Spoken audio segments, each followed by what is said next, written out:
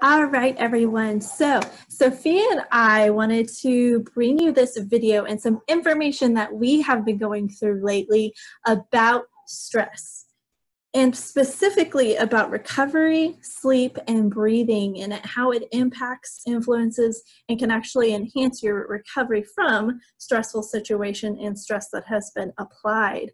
So, Sophia, thank you so much for hopping on here with me. Thanks for having me. So, for those of you who don't know, Sophia is a wonderful athletic trainer. She currently works at a high school and in a hospital.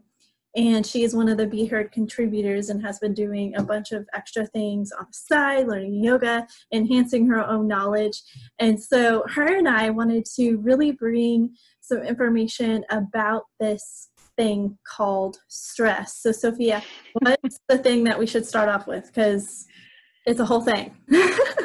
All right. So I kind of wanted to center all of this around stress just because we're all stressed right now. This mm-hmm. is weird times. And even outside of these times, we all handle stress differently. We all experience different kinds of stress.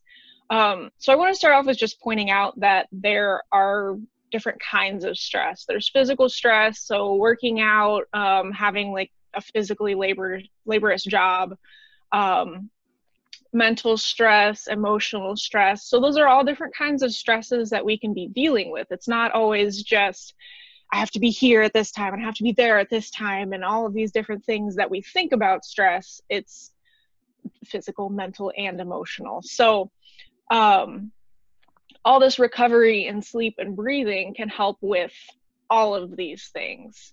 Um, so, you, you want to just start with recovery?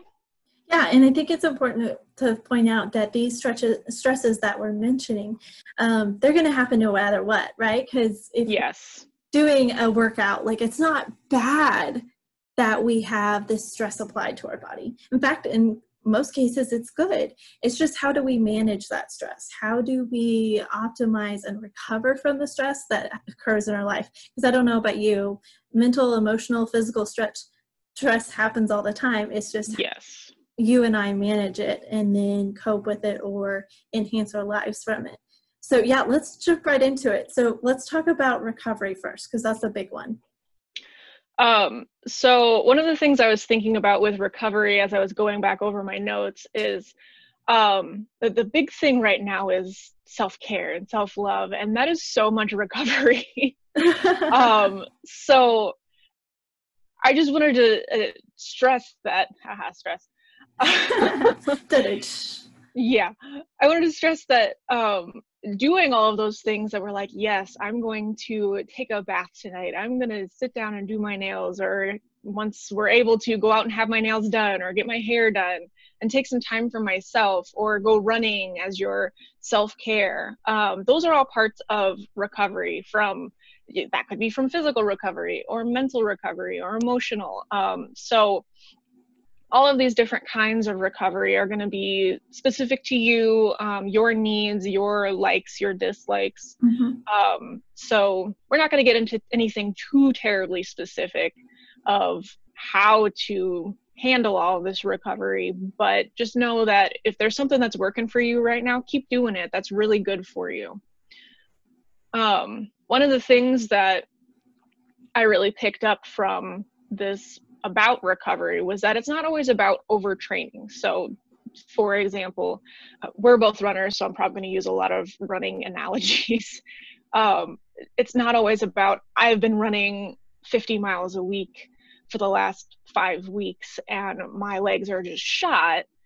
It could just be, I've been running too much for the amount of recovery I'm not doing. Mm-hmm. So it yes. could be overtraining or overstressing instead of not recovering. And I love that because it applies to the athlete, to the recreational athlete, to the moving mom, to the moving woman, to just life in general, right? Because if you're overtraining, you're overstressing your body, and you're not, you're exactly right. You're under recovering. You're under taking care of yourself. You're under nurturing yourself, holding that space for you it's going to come out in the things that you're trying to do, the things that you're trying to accomplish. So, like running, like you say, if we don't take a break, if we don't optimize and replenish and restore our body, it's going to show up in our performance. And no, I love the way that you put it because overtraining, yes, we can do that, but also under recovery, under utilizing that tool that we have is going to decrease our performance overall. Um, we mentioned how that has to do, or we talked learned about how that has a lot to do with the autonomic nervous system. So let's talk about right. that because that's a huge factor. Okay, so for those people who are not familiar with the autonomic nervous system, aren't super anatomy nerd freaks like we are, um, the autonomic nervous system is part of um, our peripheral nervous system. So not our central nervous system, our, our brain and our brainstem, it's everything else out here. Um, so the ANS has the sympathetic and the parasympathetic um, branches to it. So you've probably heard of the, the sympathetic nervous system. It's our fight or flight. Um, our PNS, our uh, peripheral nervous system, is known as our rest and digest. Um, so clearly, any kind of stresses, workouts, whatever, are going to be that fight or flight, while all of our recovery is going to be on the rest and digest, which I thought was really important to that whole seminar that we went to because it was all around sleep and recovery and all that kind of stuff, which is all about resting and digesting and digesting the good things. no, and that's perfect because, yeah, we look at the parasympathetic, the sympathetic nervous systems we look at how you know there's an on switch and an off switch and a lot of us we get stuck in that fight or flight and yes. especially if we are not optimizing our recovery we're not managing that stress appropriately we get to live in that sympathetic that on all the time space and we never flip over to having that rest and digest nervous system being turned on and us being able to chill out which a lot of people they get kind of confused because they're like why would i want to turn on eh, this nervous system? Because that's how you turn off and calm down and recover. Yeah. Um, there's a, that little dichotomy there but it's it's really important that we take that chance to turn off one and flow into the other one in order to recover optimally. And i like how you said that about um, you can think about how stress and recovery are opposites, right? Yeah. And yeah. So if you if you think about like the yin and yang symbol, mm-hmm. like you can have all of this stress, but you still need a little bit of um, recovery, or you can have all this recovery, but you still need a little bit of stress. So you can't have one without the other. Otherwise, you're unbalanced. And balancing is really important right. in all aspects of your life. Right. And it's all about finding that optimized place for you because one person might be able to thrive in a certain balance or a certain optimization of that yin and that yang that you put. Um, whereas others, they need a little bit more of an 50 50, maybe. And right. It's a little right. bit one and a lot of another. So that's why it's really important whenever you're working with a coach or with your, if you're working on yourself, to make sure that you're taking your internal um, nervous system t- temperature of sorts, just to make sure that you're finding that space that you go into. Um, no, I love that. That's a good point. So, one way that we can influence our autonomic nervous system is through sleep and breathing. Yes. Um, so, I'm just going to start with sleep. So, every system in our body is influenced by sleep. Um, it's a huge life enhancer for any goal you're trying to achieve. Um, it's one of the easiest and cheapest mechanisms to help you recovery. It's like some of the lowest fruit on that tree of recovery um, mm-hmm. that you can get um, in terms of like having really special um, supplements or specific techniques or trainings that you go to or mm-hmm. even just education like the lowest of the low is get your sleep right mm-hmm. we, we, hear that all the time get your sleep mm-hmm. uh, which can be hard for some people yeah. um I, I, know i'm getting some of the best sleep of my life right now because i don't have um a, a hard schedule to stick to i can mm-hmm. say okay i don't have to get up at 5 a.m. I'm going to go to sleep at midnight when I'm comfortable with it, and I'm going to wake up at 8 a.m. when I'm comfortable with it. And I'm getting my full eight hours of sleep. Not everybody has that luxury right now, um, especially you, children, you know. right, yeah, um, just throw that one into the mix, right? yeah, no biggie, it's fine. Um, but again, sleep is just, it's, it's the root of all of our recovery. And I love that because you mentioned, you know, you can trial the tips and tricks a big thing, you know, in the industry is talking about biohacks. How can we biohack the body? How can we uh, enhance what we're doing? And it's so funny whenever you go back and you're like, well, how's your sleep? And they're like, what? I mean, I have this cool gadget. Come on. And then you talk about, okay, so what are you doing for over half of your life? You're sleeping. So we need yes. that is optimal because if we are having these stress stressors, whether physical, emotional, uh, mental, we need time to heal. And that healing and that growth that we get from whatever stress was applied happens in the sleep. Right. And you can't get that from anything else. You, mm-hmm. you can't substitute sleep for an extra coffee in the morning or an extra supplement after your workout to help you recover. And I can say I've tried. I can say I've tried. There's only so much that can help. yeah, no.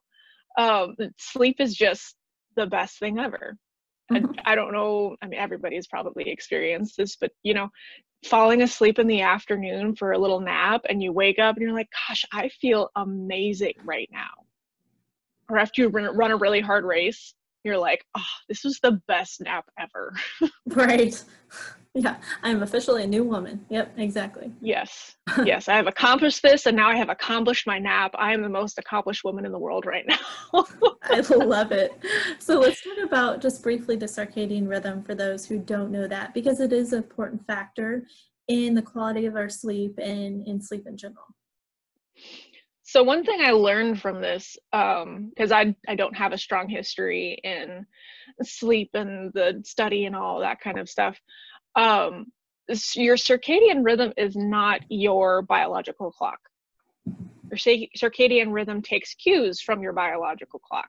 I did not know that. It was something I learned.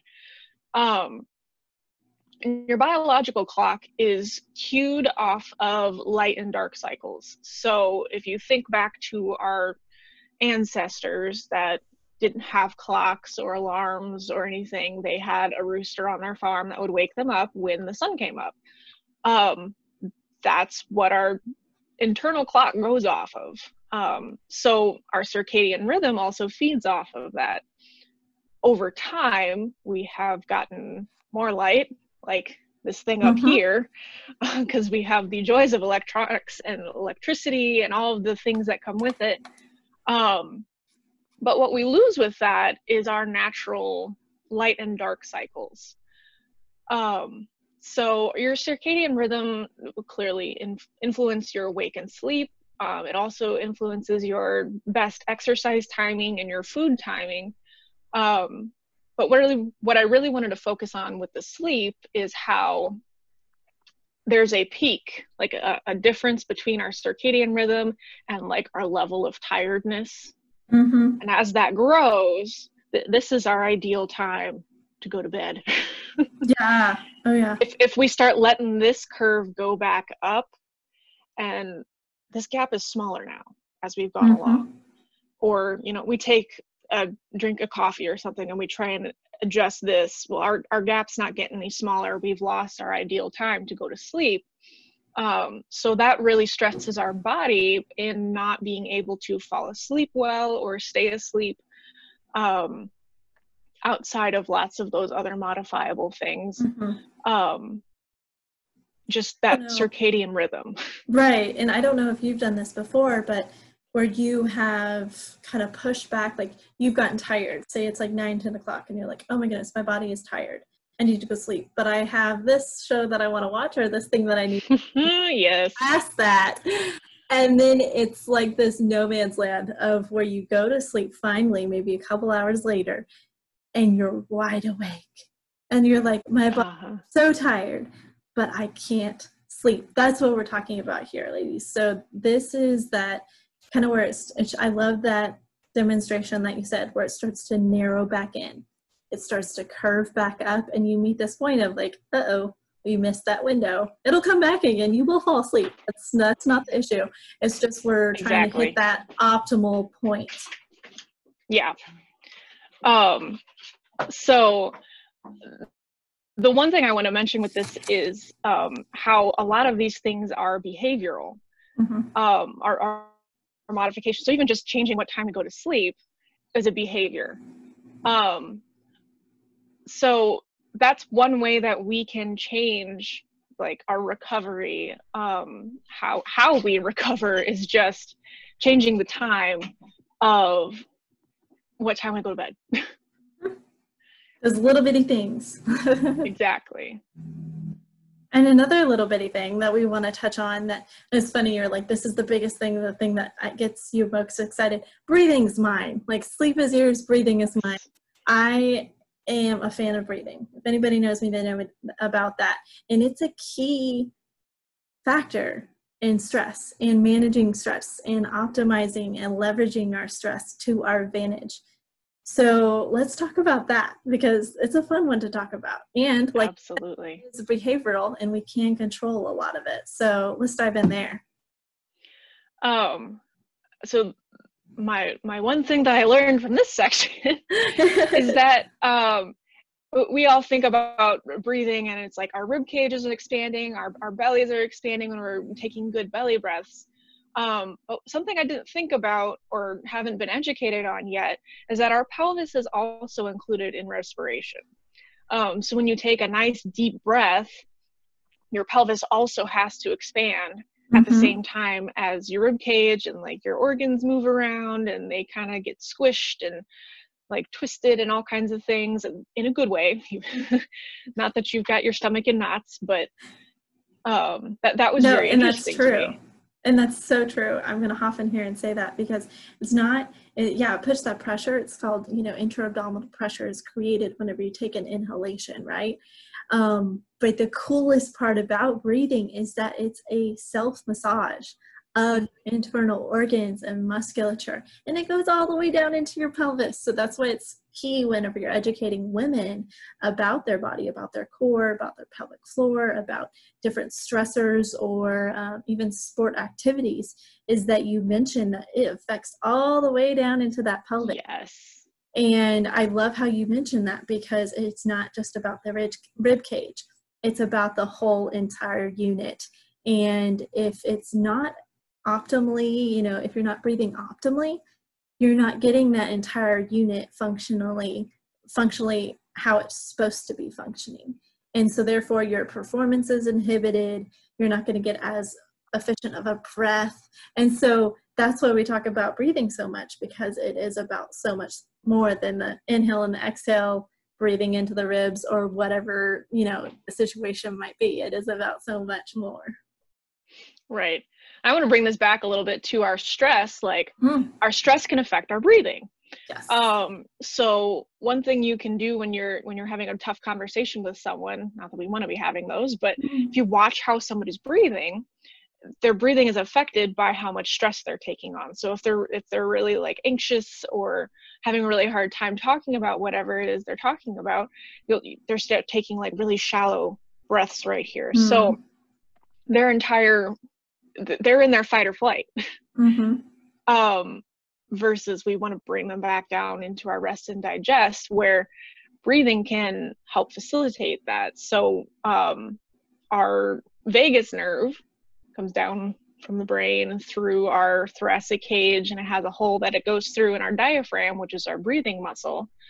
Um, and by breathing you're stimulating that muscle and that's connected back to our um, ans again hmm And that's a good connection because we want that big breath to go all the way down into the pelvis to massage those organs for that vagus nerve to be stimulated appropriately and to be able to regulate that stress and kind of turn on that off switch that we talked about earlier, turn on the PNS, that rest and digest.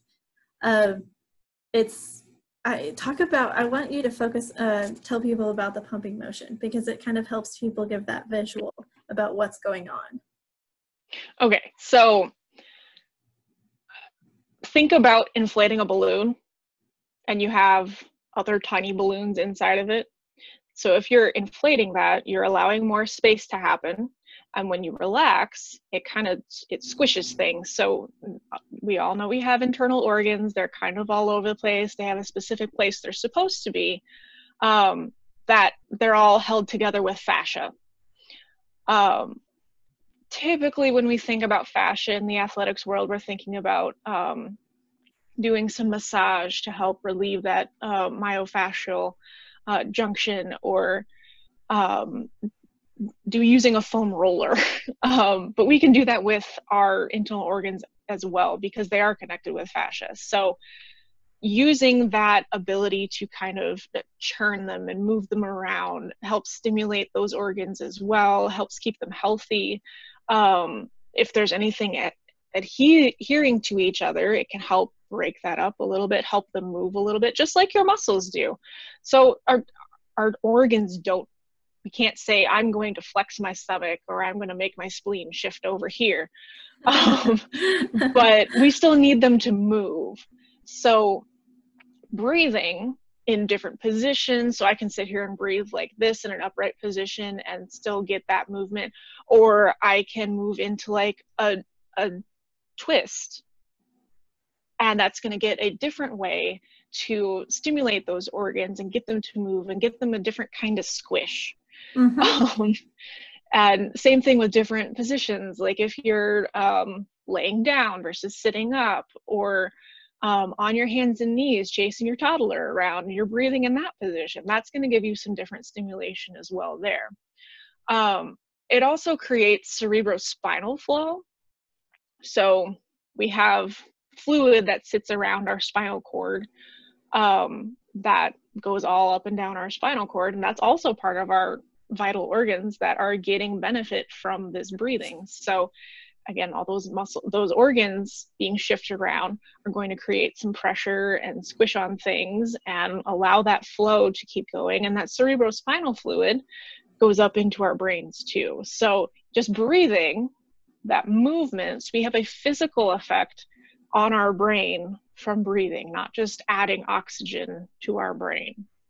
And i love that because it, it shows us how many things breathing affects but not only that, bringing it back to stress, having that organ massage, that organ movement due to the breath, and then also stimulating stimulating that flow of the fluid throughout our spinal cord into the brain can again regulate that stress because you're it's all about breathing in good oxygen and replenishing our body replenishing our muscles. So not only does that for the physical part but also for the mental and emotional part too.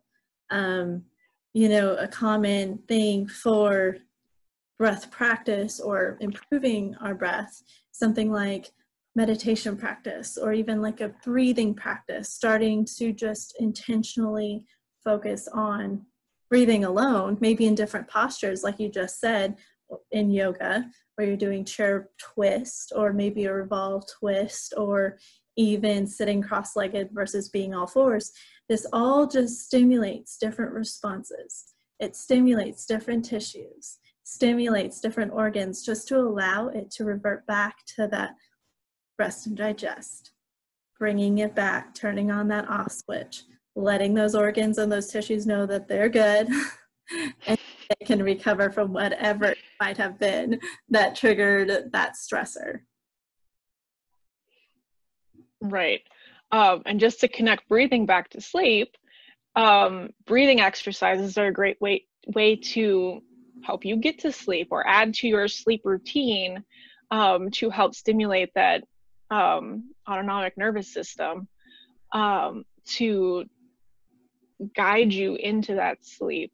Um, I know one of the big things right now is um, using different apps to help you go to sleep where there's different sounds to help you calm down. They're all nice and calm sounds. Uh, but adding breathing to that is a huge enhancement on top of those things and can help you get to sleep and help you get over your stressors better beyond sitting and focusing and meditating on your breath.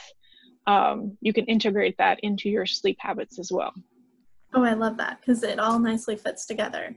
Um, you have the stress, you have the you have the tools that you need to combat that stress with your recovery, with your sleep, with your breathing, and doing these simple things can help us overcome the stress, both good and bad. really just get back to our lives, get back to what we need to do, refreshed and restored. Well, thank you for coming on here with me and for chatting with me about this. I know that the ladies will enjoy this, the women listening and men, and hopefully they can take home some key points from this. Yes, I loved getting this education, and I'm so glad that we can share this with everybody. Alrighty, well, um, I guess that we will sign off for now, and we will chat with you soon. Okay. All right.